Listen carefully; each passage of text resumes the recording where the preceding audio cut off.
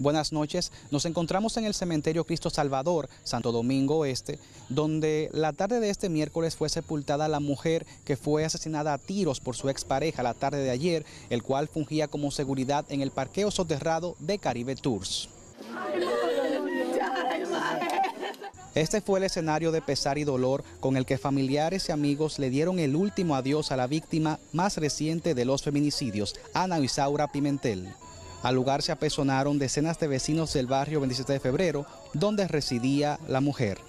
Casi sin poder hablar por el llanto, parientes expresaron que el feminicida suicida Francisco Estrella Patrocinio, expareja de Pimentel, a pesar de estar separado con ella, la amenazaba constantemente con quitarle la vida.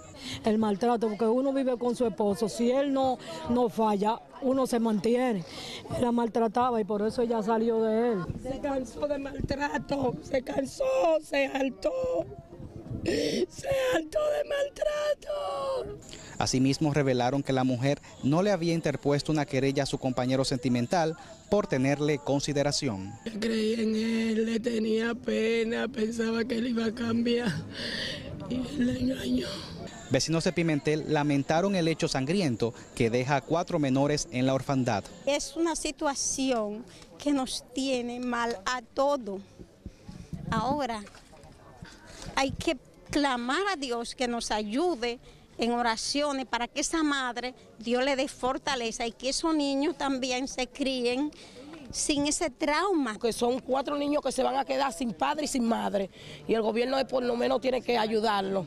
Según expresaron los familiares, los hechos se dieron cuando Francisco Estrella citó a Ana Isaura a Caribe Tours para entregarle la manutención de los hijos, procediendo con el arma de reglamento que portaba como vigilante a dispararle, para luego también quitarse la vida.